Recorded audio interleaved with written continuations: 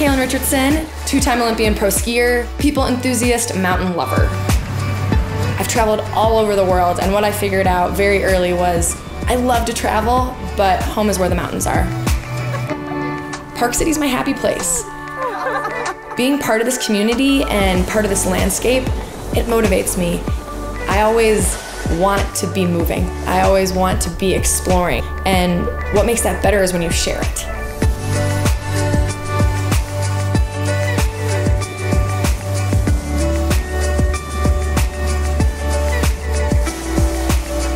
When I'm showing a friend my home, I love to help them find what makes them spark.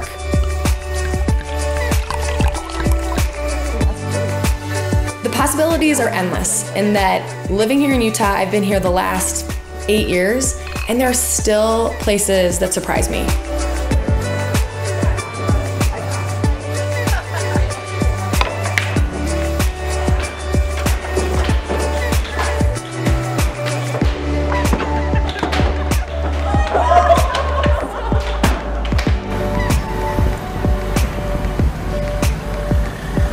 There's so many amazing food options here.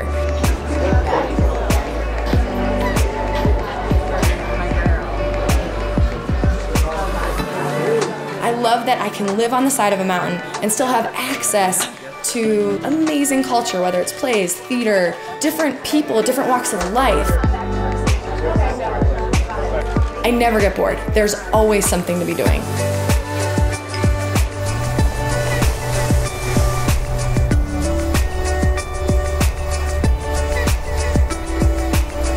I think that adventure should be a priority.